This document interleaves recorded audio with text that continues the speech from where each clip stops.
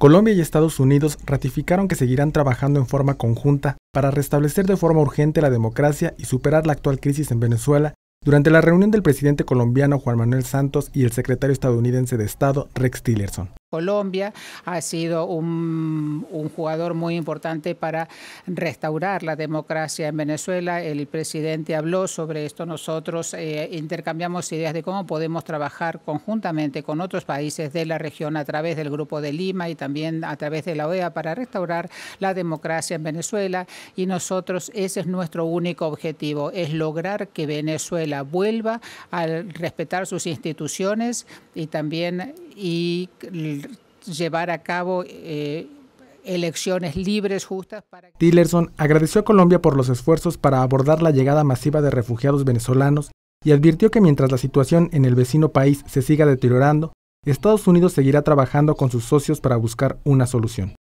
Santos, por su parte, aseveró que es urgente restablecer el cauce democrático en Venezuela. Durante la reunión también During the meeting, compartimos al secretario I also explained to Secretary Tillerson our concern over the very serious situation that the people of Venezuela a la grave situación humanitaria que el régimen dictatorial se niega a reconocer. Se suma ahora la convocatoria a elecciones presidenciales. Unas elecciones que para nosotros no tendrían validez porque no ofrecen ninguna garantía, ninguna. Con información de Edelmiro Franco, corresponsal en Colombia, Notimex.